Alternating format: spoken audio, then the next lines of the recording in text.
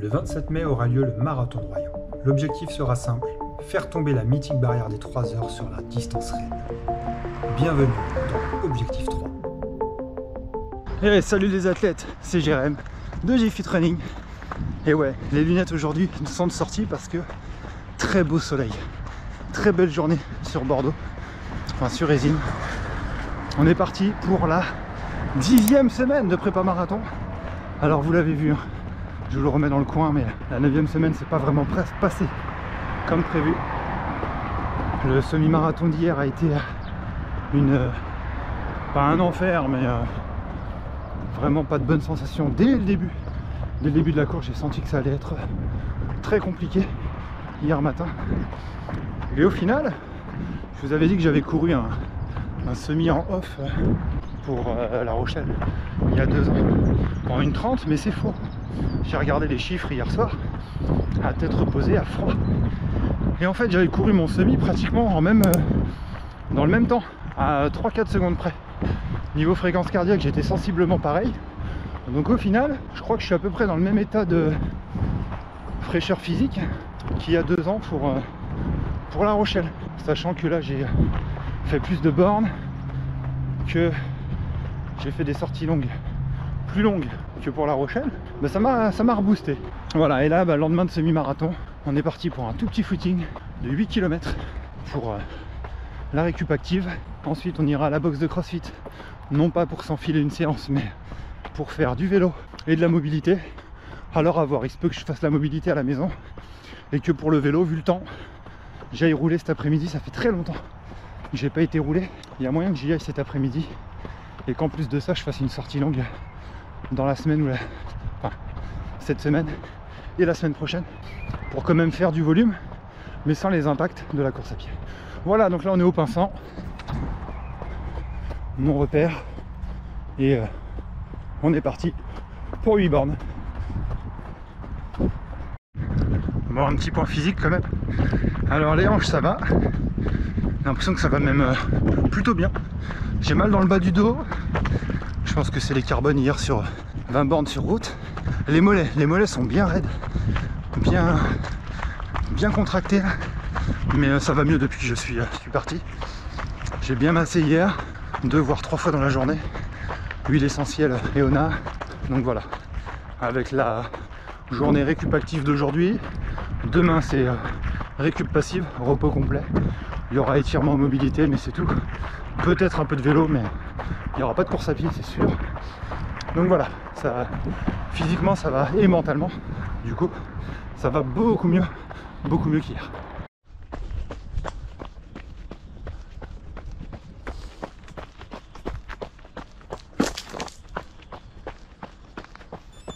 Et voilà le petit footing de 8 km qui se termine. On rentre tranquillement à la maison. Et euh, du coup à voir pour le programme d'après. Soit on passe à la boxe soit j'irai rouler cet après-midi au soleil. On verra les athlètes on est jeudi matin. Il n'y a pas le sac de trail parce qu'il n'est pas à la maison. Je l'ai prêté à, mon pote Jus pour son trail de la semaine dernière. Mais il y a la ceinture compresse sport avec ce qu'il faut pour manger pour boire. On est parti pour une sortie longue enfin longue. Euh, 21-22 km on va bosser l'allure spécifique 42 km sur 2 fois 5000 donc là je suis parti pour 10 km d'échauffement allure 5-10, 5-15 ensuite on fera 2 fois 5000 allure 4-30 et avec 3-4 minutes de récup entre les 2 fois 5000 et puis on rentrera tranquillement en footing. L'idée c'est de tester l'allure marathon voir ce que ça donne sur 4.30 et 4.30 ça fait 3h10 sur marathon. Ce qui est plutôt pas mal j'ai l'impression. Allez je vous emmène avec moi évidemment. Oh attention tunnel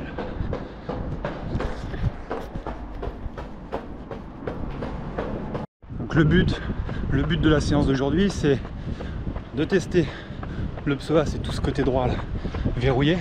Là j'ai une petite talonnette en gel côté droit qui me rehausse de 5 mm ce que j'avais sur le semi. Ça devrait aider à diminuer les douleurs ou du moins à retarder leur apparition. Et de tester le cardio voir si ça rentre si on reste dans les autour des 85% de FC Max sur les 2 fois 5000 mètres. Voilà, deux objectifs aujourd'hui, mais pas des moindres. Allez, on est presque à 10 bornes, j'ai pris deux nougats, un euh, après 22 minutes 30, un un peu plus de 45, histoire de simuler les prises le jour de la course, même si évidemment le jour de la course je prendrai pas des nougats parce que sinon je n'arriverai jamais à la fin de ce marathon. Je vais mourir étouffé avant. Et donc là, bah, dans 150 mètres, on fera demi-tour et on partira pour la première portion, le premier 5000, allure marathon. Donc, je vous le disais, 4h30, hein, objectif 3 h euh, non, on va arrêter les conneries. Objectif 3h10, ça sonne moins bien, mais c'est quand même bien plus cohérent. Et euh, même si c'est optimiste, c'est bien plus réaliste. Alors on a presque fait la moitié de la première portion. Niveau rythme ça va. Les jambes vont bien. J'ai plus 3 du semi. Le souffle, ça va. On arrive à parler. Donc ça va. Allez, on continue.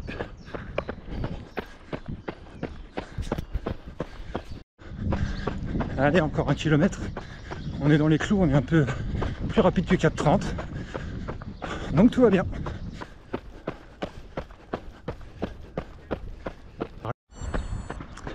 Bon, c'est rassurant, c'est passé tout seul, ou presque. Quand même, euh, les jambes un peu, un peu chargées du semi de lundi. Et puis hier, avec ma femme, on a fait une bonne, enfin une bonne. On a fait une séance de 25 minutes de renfort à base de, de squats, de fentes, de pompes, d'abdos divers et variés. Très sympa, pas de pliométrie, vraiment euh, très bien. Même des, euh, des fentes que moi je fais faire à mes athlètes en présentiel avec le genou bien haut pour euh, travailler la pose de pied. Très sympa, une appli dont je vous parlerai plus tard si les, les tests euh, s'avèrent concluants. En fait, on faisait, euh, on faisait Freeletics avec ma femme et avec Aurore, puisqu'elle s'appelle Aurore.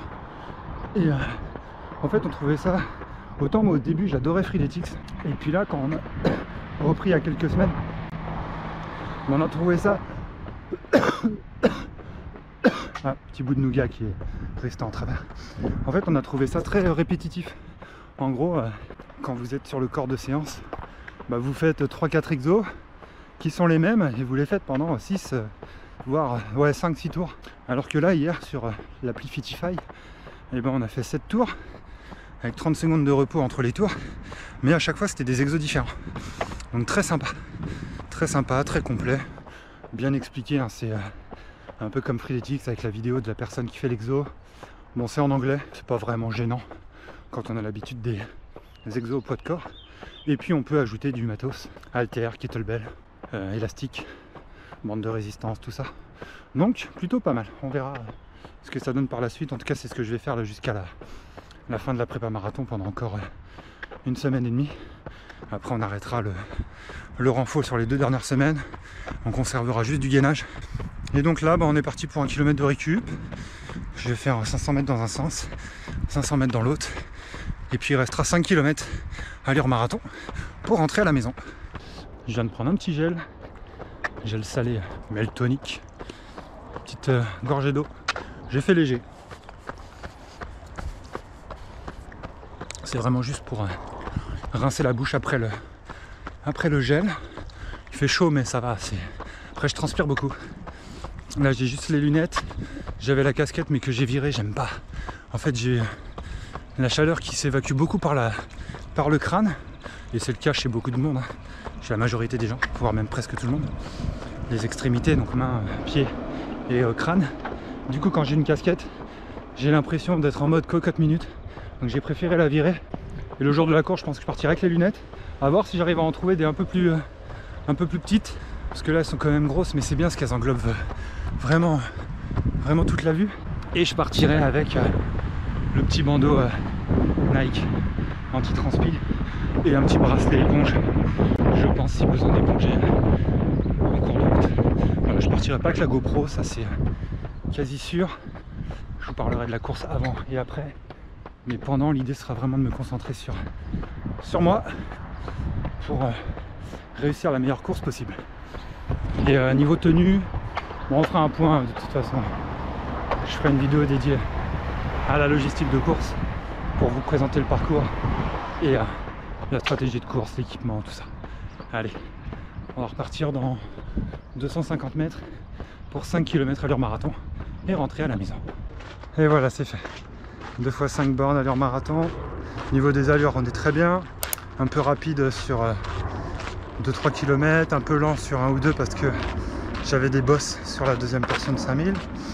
Niveau cardio, je pense qu'on est pas mal. On verra, on va regarder les, les datas comme on dit. On est vendredi les athlètes et on est parti pour un petit footing de 7-8 km pour décrasser de la sortie longue d'hier. Moi il est pas simple ce footing. Pourtant le rythme cardiaque est bas, moins de 130 pulses. Donc ça c'est très bien à 5,30 du kilo. Mais euh, je me sens fatigué, essoufflé. En fait j'ai eu les. J'ai fait une prise de sang mardi matin. Et euh, j'ai eu les résultats. Enfin mon, mon doc m'a analysé les résultats hier après-midi. Et j'ai un taux de globules blancs qui est vraiment très bas. Ce qui explique cette, euh, cette fatigue. Et il m'a fait un peu peur parce qu'il m'a parlé de, de neutropénie. Et du coup, je dois consulter un hématologue. Alors, ça se passe à l'Institut du cancer, l'Institut Bergonier à Bordeaux. C'est pas rassurant du tout, ce genre de dénomination. Là, j'attends que l'Institut me rappelle pour fixer un rendez-vous au plus vite. Parce qu'apparemment, c'est assez urgent. S'il y en a euh, parmi vous qui s'y connaissent mieux que ça, mieux que moi, n'hésitez pas à me dire en commentaire ce que, ce que ça pourrait être. Même si normalement, d'ici la publication de la vidéo, j'aurais consulté. Voilà, donc petit footing, reste 2 km, on rentre gentiment. Et voilà, footing terminé. Maintenant, euh, récup. Punaise, je suis... je sens une fatigue générale, c'est assez euh, impressionnant. Le matin, j'ai du mal à me lever. Tous les après-midi, pratiquement, je fais la sieste. Ouais, c'est compliqué, compliqué en ce moment. Euh, mais demain, il y a. Ah, demain, je. Petite séance de côte. Je vous expliquerai pourquoi je fais une séance de côte demain. Allez, à demain. Samedi matin, les athlètes. Samedi matin, le petit podcast de course épique dans les oreilles. Aujourd'hui, on va faire simple. La forme est beaucoup mieux qu'hier. Pourtant, euh, hier soir, j'ai fait euh, burger frites, euh, bonbons, ciné, petit verre avec ma grande, avec ma fille. Et ben, ce matin, je me suis levé avec une patate.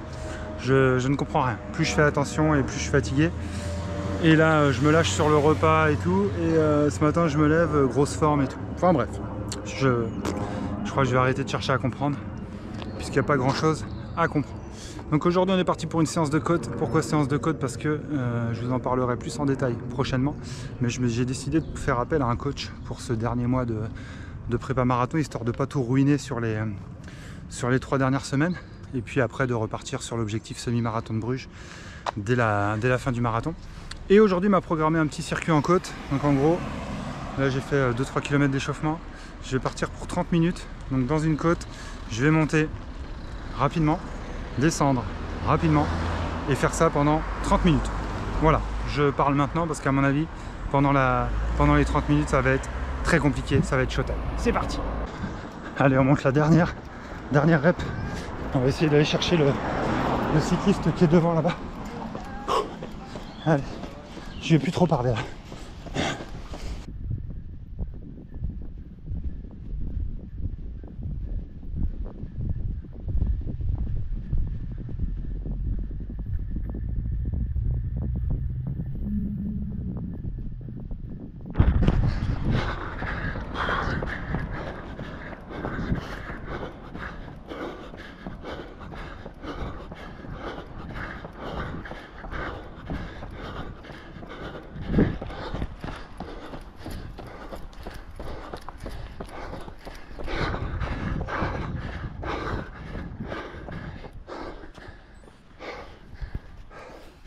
Ah la vache, c'est bon, j'ai récupéré le cycliste.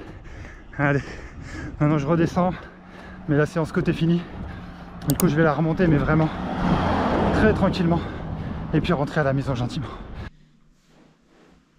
Et dimanche, euh, dimanche fin de matinée, les athlètes, euh, ça y est, on rentre d'une euh, petite séance vélo. comme, comme, comme mardi. Donc très très cool, avec un peu de travail de, de force sur la fin de la sortie qui vient clôturer du coup cette semaine. Alors cette semaine un peu light, hein, 60 km de course à pied, un peu plus de 5 heures, mais quand même bon, bah, le, semi, une belle sortie longue avec euh, de l'allure marathon, une belle séance de côte, donc euh, pas mal de qualité. Pas énorme en quantité, mais en qualité, on est pas mal. Voilà, donc le bilan est assez, euh, assez euh, très positif parce que j'ai j'ai bien régénéré pendant, pendant cette semaine et pourtant bah, j'ai quand même bien bossé, donc ça c'est plutôt encourageant. À maintenant, bah, ouais, trois semaines du marathon. hein. On se retrouve la semaine prochaine pour la semaine 11 de prépa au marathon de Royan. Si vous avez aimé la vidéo, mettez un gros pouce bleu. Si vous voulez suivre mes aventures, retrouver mes conseils, abonnez-vous. Et puis voilà, n'oubliez pas que vous avez 15% de réduction chez Meltonic. Que si vous passez par le lien sous la vidéo pour commander chez Iron, et ben moi je touche une petite commission et vous. Ça ne vous coûte pas plus cher. Voilà les athlètes, il me reste plus qu'à vous dire euh, Portez-vous bien. À très vite. Ciao, ciao.